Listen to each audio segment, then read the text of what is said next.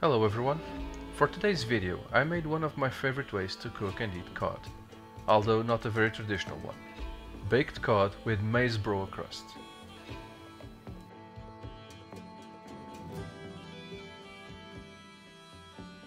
Since the cod pieces will be baked and served whole for this dish, I prefer to use thicker ones, from what would be the loin part of the fish. As in the previous video, these have already been soaked in cold water for 72 hours, changing the water every 24 hours. The first step is to wrap these in paper towels. The goal here is to get the outer surface of the fish dry enough for my crust to stick. For my side dish, I made roasted sweet potato sticks. My wife and son really liked them this way, and we had a lot in our vegetable basket this week. I just cut the potato in half so the sticks fit in my pot. Then cut in half again, but lengthwise. After this, it's easy to just lay them on the board and cut the sticks.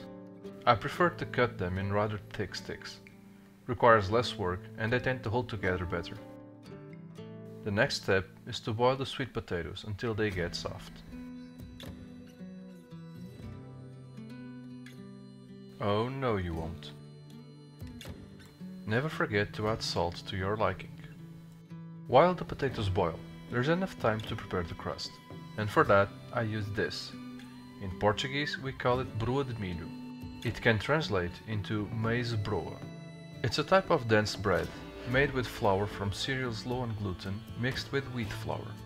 Maize in this case, but you can also easily find rye broa. The word itself is thought to derive from the Gothic and Swabian word brood, which just means bread.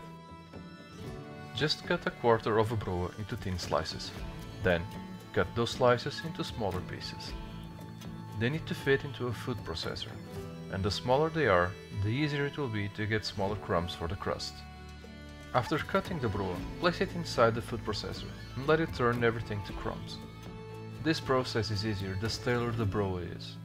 I thought I had a stale enough broa, but I was wrong.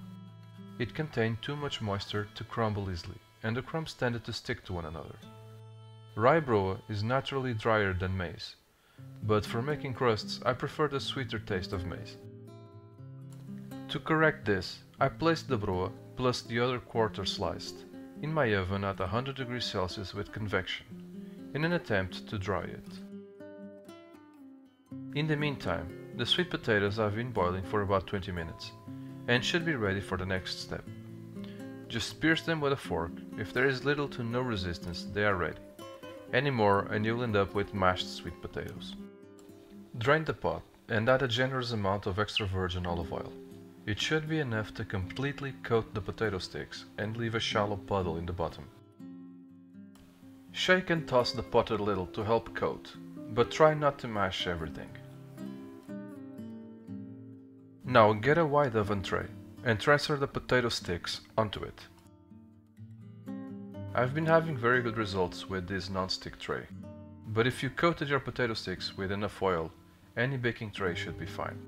Spread your sticks across the tray, make sure they are not on top of each other, and that contact is minimal. Treat it like a pandemic. By now, the broa in the oven should have dried considerably. I took it out and ramped the oven up to 180 degrees Celsius and put the potatoes in. Now go ahead and throw the broa back into the food processor. It should crumb easier. I bought this broa on the day before making the dish. For better results, just buy the broa a week in advance. Even if it's pretty stale, it's difficult to get a fine crumb on broa due to the thick outer crust. So don't get discouraged if you think the crumbs are larger than you are used to. It might also be the case that my food processor just isn't powerful enough. With the crumb ready, it's just a matter of getting the crust on the fish. One beaten egg should be enough for this amount. I first coat the fish meat in plain wheat flour to help the egg stick. Then soak it in the egg. After, try to get a thick crust of crumbs on the meat side of the fish opposite to the skin. Everyone who coats food with this method has at some stage said, keep one hand wet and the other dry. It makes the process easier and a lot less messier. You might have to press the crumb crust a bit to make sure it sticks well to the fish meat. Some assembly might also be required. When ready, place them on an oven tray. I usually don't feel the need to oil my trays when baking salted cod. Just place it skin down and it tends to stay loose. Add the remaining crumbs to the tray. No point in having food waste and you will get additional crunchy bits. I did not add seasonings to my crust at this stage, but if you want, I would suggest some dried herbs, like thyme or sage. Now get a large frying pan and place it on the stove on low heat. The yucky greenish muck you are seeing is just refrigerated olive oil. I keep some with caramelized onion and garlic in the refrigerator. It's a good thing to have on hand for a weekday meal. You can get all the flavor from slowly cooked onion and garlic in an instant. And without having to peel and cut the roots after spending hours at work. It's also very satisfying to watch it melt.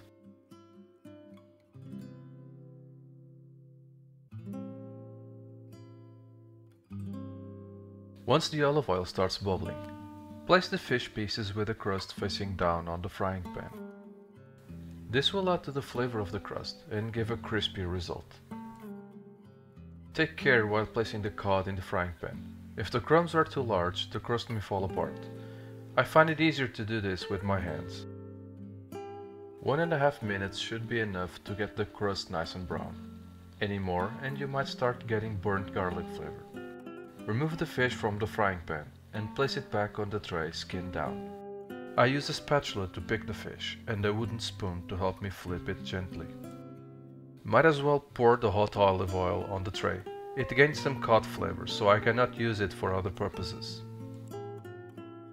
Check your potatoes before placing the cod in the oven. After 20 minutes they should be browning nicely and if you shake the tray they should release easily. I'm adding another level to the oven, above the potatoes, to place the cod tray. I let them finish while the cod bakes. 15 to 20 minutes should be enough to get the cod cooked through, without it being overcooked and dry. When it comes out of the oven, it should look like this. And next come the sweet potatoes. These turned out great, with a crispy outside and an almost jammy inside. The first plate is not the usual dinosaur plate. I need to debone one of these pieces for my son before serving it. But of course he will be getting the first serving of potatoes. I want to try this recipe with orange and purple sweet potatoes, but they are hard to come by. Leave a comment if you'd like to see a video with a comparison of these. Remember to add to the plate some of the olive oil from the bottom of the tray, together with some of the leftover crumbs. The broa crust adds a nice crunch that contrasts well with the softness of the fish. You could probably replicate the texture with a seed-based crunch, like sesame or pumpkin seeds, maybe chia. But those would not add the sweetness that is present in maize broa, which for me is a key part in this recipe. Everything is served, I'll just top the plates with some spring onion before I call my family for dinner. Thank you for watching. We hope you enjoyed the video and that you can take some ideas from here to apply to your own cooking. Until next time,